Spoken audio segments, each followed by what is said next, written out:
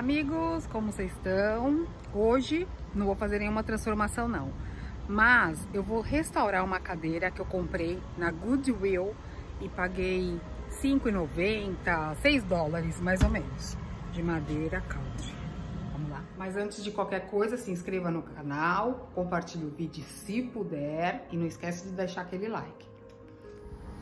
Olha, como vocês podem ver, eu comprei essas duas cadeiras country porque eu quero fazer fotografia, que eu preciso usar uma cadeira, só que eu não queria usar uma cadeira forrada, eu queria uma cadeira estilo farmhouse.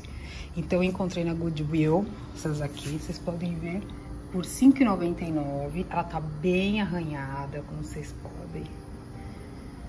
Bem estragada, tá bamba. Então nós vamos dar uma restaurada, mas eu acho que eu vou deixar ela nessa cor mesmo, porque eu achei muito bonita. Bora lá. Olha, amigos, primeira coisa que eu vou fazer, eu vou dar uma forrada no chão da garagem. Vou começar lixando as peças. E olha, tá muito calor. Valorizem esse vídeo porque, olha, a pressão aqui cai, viu? Olha.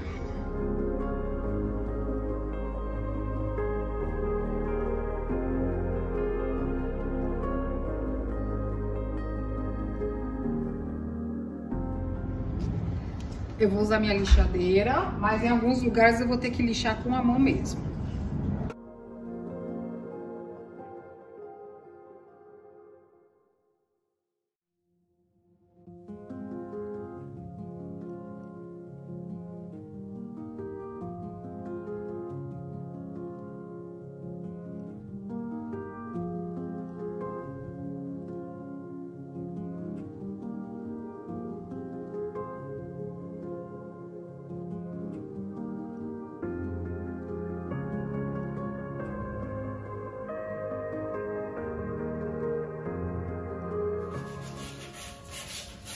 Olha como ela tá ficando bonita.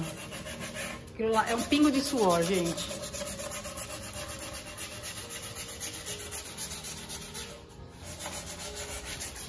Essa aqui. Olha, tá bem judiada. Judiada vai ficar minha mão. e a minha que eu pus luva pra não acabar com a unha, não adiantou nada. Não adianta nada.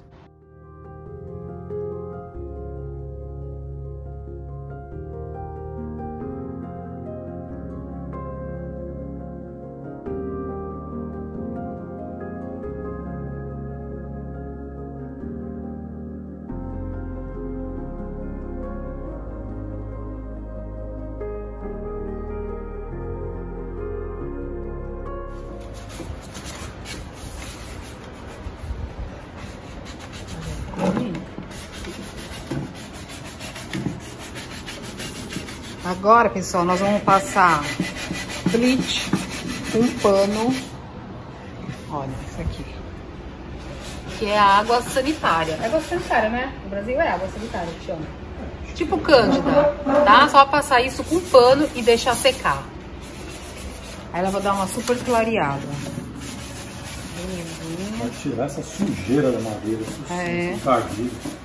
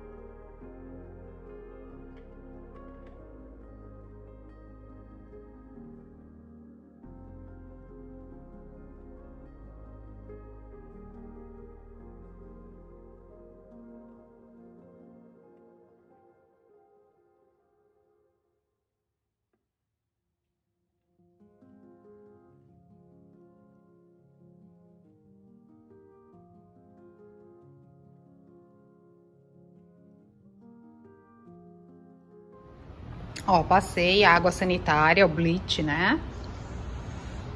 E agora tem que deixar secar bem. Só amanhã a gente vai terminar essa peça. Aí eu vou decidir se eu vou dar um banho de pátina branca nela ou vou deixar assim. Eu acho que vou deixar assim mesmo, porque eu gostei muito dela, dessa cor, sabe? Tá muito farmhouse. Ó, já tá começando a desbotar. Agora vamos nessa.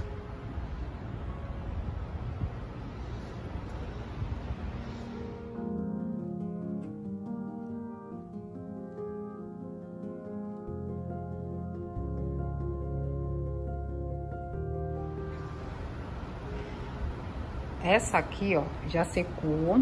Passei uma mão, né, de deixei no sol, mas precisa secar mais. Vou deixar até amanhã. Essa acabei de passar, mas olha como fica legal essa cor. Eu espero que quando eu invernizar, ela fique assim, ó. Tá? Mas quando... É, é ela tá assim porque ela tá molhada. Quando ela secar, ela vai ficar assim. E aqui depois a gente vai passar um verniz.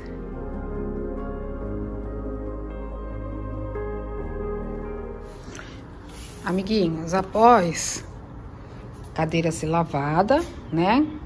Com água sanitária, o bleach. Eu dei mais uma lixada, só pra deixar mais lisinha, sabe? Agora eu vou tirar um pouco dessa folhinha, né? Vou passar um pano úmido. E depois, deixar secar mais um pouquinho, já vou invernizar. Eu comprei dois tipos de verniz, eu vou fazer o teste embaixo dela pra ver qual dos dois que eu vou aplicar. Amigos, sabe quando você mira em um e pega outro? Foi o que aconteceu com esse aqui. Eu peguei uma coisa que não era. Ainda bem que trouxe dois. Fiquei na dúvida. Bom, então eu peguei esse verniz para madeira. Comprei no Walmart, mas vocês compram em qualquer lugar aí no Brasil. Casa de material. O certo fazer é passar o verniz num pano de malha limpo e passando na cadeira. Mas eu não tô querendo não. Mesmo de luva, eu vou usar as buchinhas, sabe? E passadores. Por que que acontece? Ele é só pra passar de leve, não é pra deixar lambuzado demais. Ó, essa técnica passa no pano porque você só vai fazer isso, ó. Eu gostei da cor, vai ser essa mesmo. Então, você vai passando a buchinha e vai meio que tirando Olha, vai ficar super bonito. Vamos ver. Olha, amigos, que legal que tá ficando. Vai pôr no verniz bem líquido e vai limpando. Ela vai meio que envelhecendo. Olha como a esponjinha é bom. Porque consegue passar nesses cantinhos. Não pode encharcar muito, tá? Pra ele ficar, senão fica bem pretão. E aí vem aqui já vai limpando.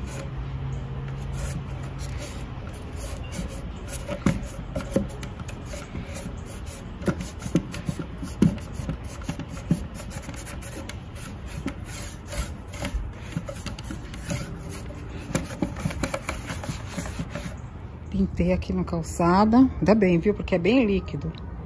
E pus pra secar aqui na rua. Olha, ficou uma cor castor. Muito bonita. Uma coisa que eu quero lembrar pra você, que eu quero deixar... Ai. Uma coisa que eu quero deixar aqui, só que eu tô no sol. Primeiro, pegar uma lixinha e lixar aqui nos cantinhos, porque quando fica verniz antigo, aquele velho, fica um pouco marcado. Como eu escureci, a cadeira não apareceu. Mas se eu fosse usar uma pátina branca ou se eu fosse usar um verniz transparente, ia aparecer, ia ter que lixar mais. Outra coisa, aonde tem aros, esses aros, e esses detalhes, eu vou passar mais uma mão para ficar mais escurecido, como se tivesse envelhecido, sabe? Vou deixar e o resto vou deixar como tá. Amigos, vou falar uma coisa pra vocês. Quando eu tô quase acabando a parada, eu começo a inventar umas coisas, nada a ver com nada, né? Aí eu tô exausta aqui, mas vamos lá. O que que eu inventei? Dar uma escurecida nos aros.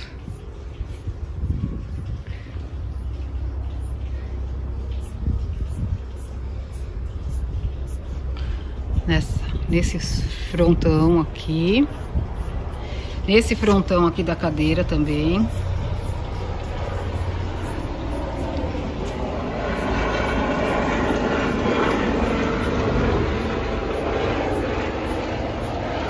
Aproveitando que aqui ficou meio sem lixar muito, vou dar um migué aqui. E agora, aquela limpada. Mas mesmo quando você limpa, ela já fica mais escura. Que é a segunda, né?